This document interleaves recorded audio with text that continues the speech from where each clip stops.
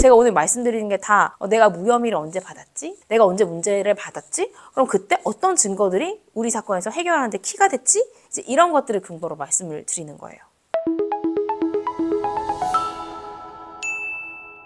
안녕하세요. 여러분의 인생을 지켜드리는 인생 변호사 검사 출신 이고은 변호사입니다. 오늘은요.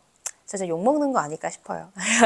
원나잇 10계명. 그러니까 이제 억울하게 사실은 고소를 당하는 남성분들도 많거든요. 여성분도 억울하게 고소당할 수 있고요. 근데 억울한 성범죄 고소를 막으려면 특히 처음 만났는데 이제 첫날 성관계까지 남녀가 뭐 자연스럽게 갈 수 있잖아요. 근데 그 첫날 이후에 갑자기 중간간이다 강간이다 고소당하는 경우가 있습니다. 아, 물론 성범죄를 의도적으로 한 분들은 당연히 처벌이 돼야 되지만 그렇지 않고 나는 전혀 그런 의도가 아니었는데 갑자기 억울하게 고소를 당하고 합의금을 요구받고 이러는 경우가 요즘 왕왕 있습니다. 그래서 그런 걸 막기 위해서 어떤 열 가지를 기억해야 되는지 한 가지 한 가지씩 말씀을 좀 드려볼게요. 첫 번째, 처음 만나는 이성관계에서 술에 만취한 상태에서 성관계는 좀 피해라 라고 저는 지인들한테 많이 얘기해요. 왜냐면 남녀가 처음 만났잖아요? 그 사람이 주량이 어떤지 그리고 이 정도 행동이면 취할 때 보이는 행동인지 아닌지를 잘 알 수가 없어요. 근데 이제 약간 뭐 상대가 취해서 많이 웃어주고 이러면은 또 그걸 보는 사람들 입장에서는 어 제가 나를 좋아하나 보다. 그래서 저렇게 많이 웃고 계속 짠짠 이런 술도 잘 마시고 하는구나라고 오해를 하고 뭐 성관계에 대한 제대로 된 명시적인 의사도 묻지도 않고 모텔에 가서 성관계 했는데 그 다음날 여자가 일어나 보니까 뭐야 여기 우리 집 아니잖아. 나 강간당했어. 라고 생각하는 경우가 있거든요. 그래서 처음 만난 남녀 사이에는 뭐 술을 적당히 먹는 건 좋지만 서로 정말 취할 정도까지 마시고 원나잇을 했다가는 서로가 의사소통이 제대로 통하지 않아서 오해가 생겨서 성범죄로 고소당하는 경우 굉장히 많습니다. 그래서 처음 술을 마실 때 뭐 소개팅으로 그 사람 만났다, 랜덤 채팅 어플로 만났다, 주량을 물어보세요. 그 사람의 주량을 지켜줘야 되는 거죠. 그리고 웬만하면 술에 많이 취했을 때는 그냥 각자 집에 돌아가시고 술에 너무 그 사람 주량에 넘어서는 정도로 만취한 상태에서 괜히 성관계를 빚었다가 중간간으로 오해받는 경우도 굉장히 많다는 거 꼭 기억해 두셔야 됩니다. 두 번째는 남녀가 만나서 바로 손잡고 안녕하세요. 저 이고은입니다. 안녕하세요. 홍길동입니다.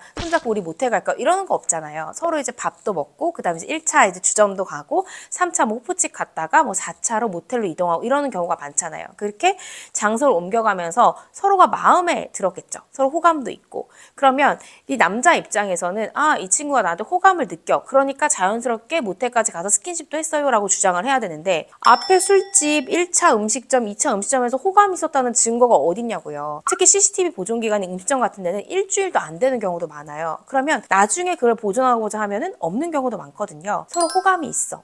서로 마음이 통했어. 셀카를 좀 남겨놔라. 저 사실 저희 지인한테 그렇게 얘기하거든요. 그래서 서로 간에 이렇게 다정하게 같이 이렇게 뭔가 하는 액션을 찍는다든지, 셀카를 찍는다든지, 그렇게 해서 놓으면은, 아, 둘이 처음 만났고, 그렇지만, 이렇게 셀카를 다정하게 찍을 정도로 굉장히 가까운 사이, 서로 호감을 느끼는 사이였구나라는 것이 나중에 혹시 돌발 사태가 났을 때 증거로 활용할 수 있기 때문에 셀카를 좀 찍어 놓는 것도 하나의 방법이 될 수 있다. 저는 이렇게 얘기를 합니다. 그러니까 무조건 뭐 몰카를 찍으라는 게 아니라 요즘 젊은 친구들 만나 뭐 이, 이거 많이 찍잖아 이렇게 이렇게 찍, 찍은 것처럼 처음에 보인 게 셀카 찍다가 우리 같이 하나 찍을래? 그럼 어 좋아 좋아 하고서는 뭐 같이 찍고 이렇게 찍고 그렇게 남겨놓는 게 좋다라는 거죠. 그러니까 뭐 반드시 그렇게 해라가 아니라 제가 오늘 말씀드리는 게다 어, 내가 무혐의를 언제 받았지? 내가 언제 문제를 받았지? 그럼 그때 어떤 증거들이 우리 사건에서 해결하는데 키가 됐지? 이제 이런 것들을 근거로 말씀을 드리는 거예요. 세 번째, 숙박업소를 가실 때 택시 이용하시는 분들 많잖아요. 그런데 가까운 뭐 숙박업소를 간다 이럴 때 좀 걸어가시는 게 좋다. 왜냐면 제가 얘기했잖아요. 원나잇 관계라는 건 사실은 남자도 그렇고 여자도 그렇고 서로가 서로에 대한 백그라운드를 잘 모르잖아요. 그러면 이 친구가 소주 한 병을 먹었어. 근데 이 친구는 사실은 소주 반 병만 먹어도 치사량이야. 근데 이 친구의 특징이 술에 취해도 전혀 안 취한 것처럼 보여. 근데 그 다음날 친구들이 물어보면 기억을 못해. 이러는 사람 꼭 있어요. 이 남자는 오해를 할 수 있어요. 얘가 멀쩡하게 행동하니까 취하지 않았겠지. 근데 진짜 취했는지 아닌지를 객관적으로 보려면 아시죠? 취한 사람 물어보면 너 취했으면 안 취했어 안 취했어 나 괜찮아 괜찮아 다 그래. 나는 한 번도 취했다고 말하는 취한 사람 본 적이 없어요. 다 괜찮다 한단 말이에요. 근데 진짜 괜찮은지 안 괜찮은지 보려면 혼자 똑바로 걸을 수 있는지 그렇잖아요. 말을 할 때 막 말을 반을 잘라먹고 말해 뭐 앞뒤가 안 맞아 이런 우리가 횡설수설하니까 얘가 취했구나 알 수 있잖아요. 그래서 저는 가급적 숙박업소까지는 걸어가라.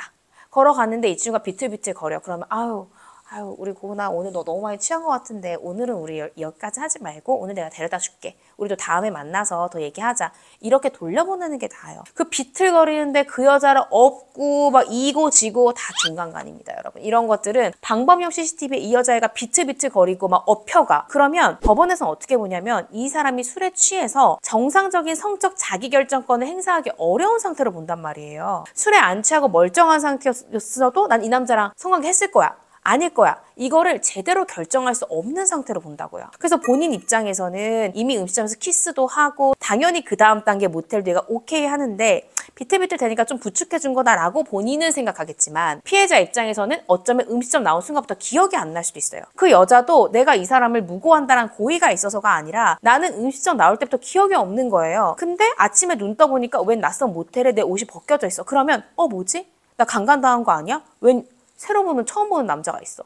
황당할 수 있어요. 그러니까 이게 저는 서- 되게 안타까운 거예요. 여자 입장도 충분히 이해가 되고 남자 입장도 충분히 이해가 돼요. 그러니까 원나잇으로 서로 간에 그런 백그라운드 지식이 없는 상태에서 정말로 너무 만취하지 않는 상태에서 관계라는 게 맞단 말이에요. 그거를 객관적으로 알기 위해서는 도보로 좀 이동을 하는 하면서 그 피해자의 보행 상태나 이런 걸 보고 얘가 너무 취했다라고 하면 돌려보내는 게 맞다.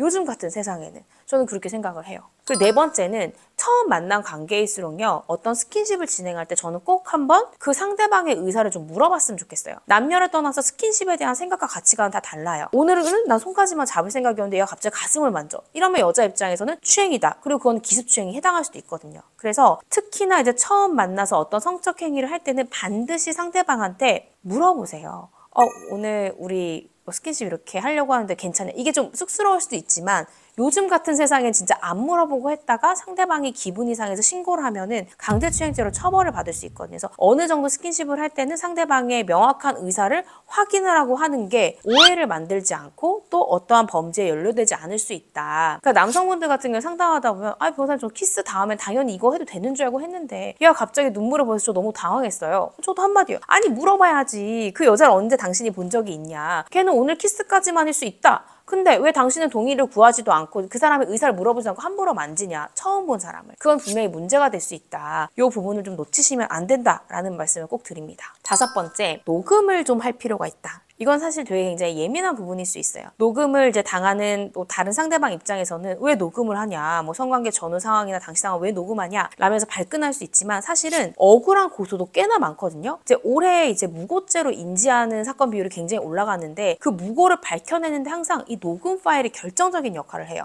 성관계를 누가 CCTV 보는 앞에서 하는 사람이 어디 있어요? 그런 게 없기 때문에 결국 어떤 성범죄가 고소됐을 때는 여자의 말, 남자의 말 그거 외에는 어떤 진실 공방을 가릴 수 있는 수단이 없단 말이에요. 근데 여자의 말과 남자의 말이 이렇게 있을 때 피해자의 말에 압도적으로 신빙성을 높다라고 수사기관과 법원은 봐요. 그러면 나를 지킬 수 있는 정확한 객관적인 물증이 없으면 굉장히 힘든 거거든요. 그래서 성관계 전의 상황, 왜 전의 상황에 녹음이 필요하냐? 둘이 충분히 호감을 느껴서 억지로 어떤 모텔에 끌고 가거나 그런 게 아니라 서로가 잘 의사합치가 이루어져서 모텔로 이동했다라는 증거가 될 수 있거든요. 물론 음식점이야 아니면 도로의 방범망 CCTV야 따더라도 소리가 녹음돼 있지 않잖아요. 그냥 모션만 있잖아요. 그러니까 서로 간에 어떤 대화가 주고받았고 숙박업소도 같이 어플로 막 같이 이렇게 상의하면서 어디 갈까 했다는 것도 나중엔 그냥 숙박업소 결제 내용만 있는 거랑 대화를 나눈 녹음이 있는 거는 다르다는 거죠. 그래서 항상 녹음 파일이 있는 사건은 사건 해결이 훨씬 더 쉬웠습니다. 제가 경험상. 아직까지 우리나라는 사실은 내가 대화자인 경우에는 녹음을 하더라도